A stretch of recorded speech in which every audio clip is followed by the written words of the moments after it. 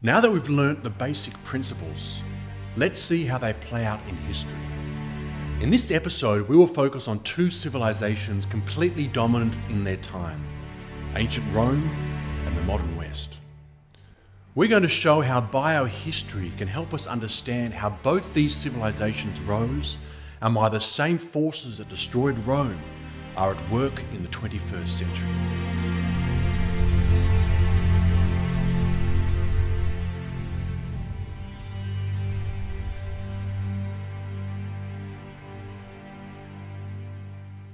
Do you feel stressed when your car breaks down or when you've lost your job? Well, this is nothing compared to what people would have felt throughout most of history. Worrying about next year's crops and whether you're going to starve or freeze to death this winter. At its core, stress is a physiological reaction to emotional strain or difficult circumstances.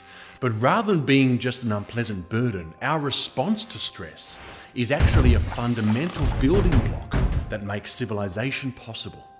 As we learned in the previous episode, occasional stresses act as V promoters, making people more warlike, cooperative in small groups, and increasing the birth rate.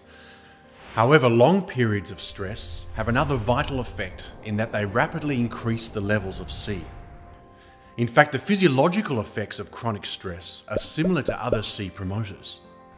Societies that have the highest levels of C today specifically Japan and the West, both experienced a rising level of stress which reached a peak in the 16th century. Symptoms of this include mass paranoia, fear, and brutal punishment, followed by endemic violence, political instability, and, interestingly, an unusual reverence for harsh authority.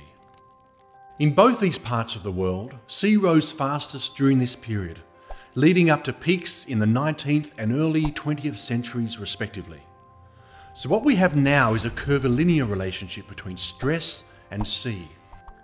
A period of extreme stress combined with the powerful C promoters in belief systems such as Christianity and Buddhism drove C to unprecedented levels. We call this the civilization cycle, and it is the key to understanding what happened to the Roman Empire and what the future holds for us. Rome, which began as a small coastal kingdom in central Italy, showed signs of a rapid rise of C very early in its history. During the 6th century BC, there appears to have been a period of chronic stress, which involved brutal, unstable political regimes and the assassination of several kings. Rome had inherited advanced cultural technologies from the Etruscans and Greeks, which combined with stress to create an unusually high level of C. The resulting growth of impersonal loyalties allowed the Romans to drive out their king and become a republic in 509 BC. This was followed by the development of a strong code of laws and a legal system. Roman C continued to rise until the 3rd century BC. At this time, most Romans were hard-working farmers who followed a strict moral code. They rigorously disciplined their children and viewed luxury with suspicion. The discipline of High C and the aggression of High V also made them effective soldiers, allowing them to conquer and absorb their neighbours. But as prosperity increased and stress declined from its 6th century peak, C began to fall. People became less interested in farming, and the rules governing sexual behaviour and family patterns began to break down. People also became less interested in controlling their children, and the birth rate began to drop. In other words, the very temperament that built Rome was being undermined by its own success. Rome continued to flourish for a time, partly because higher C provincials were absorbed into the society, but in time, Italy as a whole began to suffer from declining C. Eventually, the decline of C began to undermine the impersonal loyalties that formed the basis of the Republic. This allowed various leaders to challenge the authority of the Senate, and in 27 BC, the Emperor Augustus established the Roman Empire. Augustus was acutely aware of the declining moral standards of the Roman people. He was also deeply concerned at the rapidly falling birth rate, which is also associated with a sharp drop in V, another consequence of prosperity. Augustus tried to enforce numerous laws to combat these changes, but not even the most powerful man in the world could have any noticeable impact upon the civilization cycle. As loyalties became more and more personal with falling C, the last vestiges of the Republic faded into autocracy. Eventually, they became so personal that even a distant emperor could no longer command loyalty. This led to political fragmentation and the rise of private estates that refused to pay taxes. And eventually, the impoverished economy could no longer support the enormous weight of the empire. When Rome was sacked and the Western Empire ended, it was little more than a signpost along the road. By the 6th century, C had fallen so far that even money had gone out of use, and evidence from shipwrecks suggests that trade declined by as much as 98%. The Dark Age that followed was a period of war, misery, disease, and population collapse. People often cite these political and economic changes as the cause of Rome's demise. However, biohistory suggests that it was a changing temperament of the people themselves that drove these developments in the first place. However, as this collapse was occurring, a powerful new cultural technology called Christianity had begun to entrench itself in the dying empire. And although it took a thousand years, C rose and then surpassed the levels that it had reached in Roman times.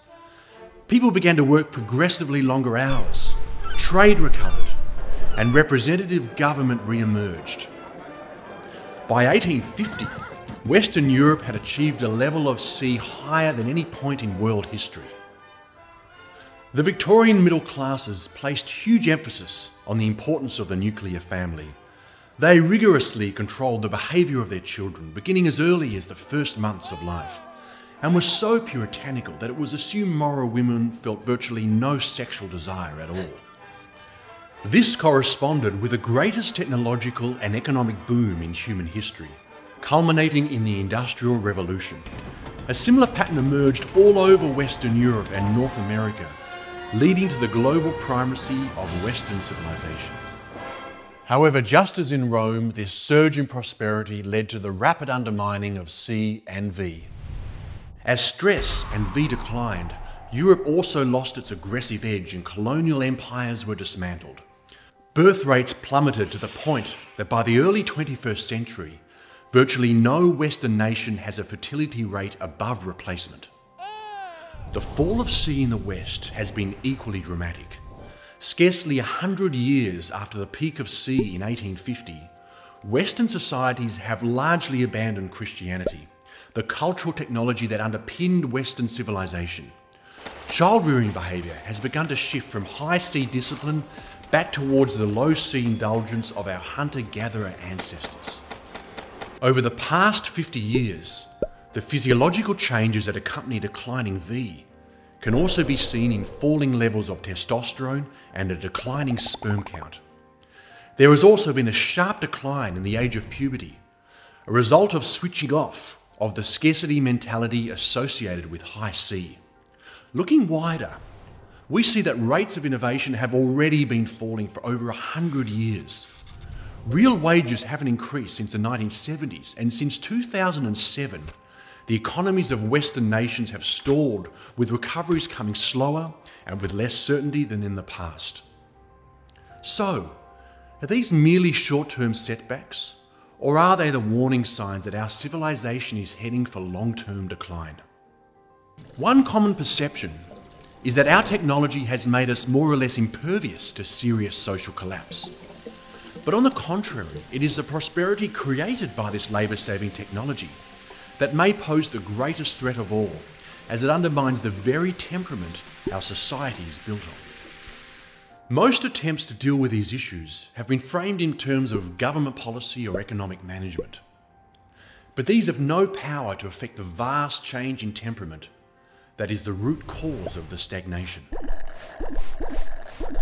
But what can we do about this? To start with, you need to decide for yourself whether the ideas presented here are cause for concern. Is our society heading in the same direction as ancient Rome? And could advances in biology be the key to understanding why? Today, epigenetic research is making enormous strides in understanding cancer and other life threatening diseases. But very little has been done to understand how the epigenome affects our temperament and behaviour. In the laboratory, we've made considerable progress in understanding C in terms of behaviour, physiology, and inheritability, which helps us to update the theory of biohistory and inform the direction of future research. If you are a scientist, historian, or psychologist, feel free to contact us to find out how you can contribute. We could be on the verge of a great intellectual revolution that could have a profound impact on the future of our world. But we need your help to make it happen. To order the book or learn more about the Biohistory Foundation, please follow the link on your screen.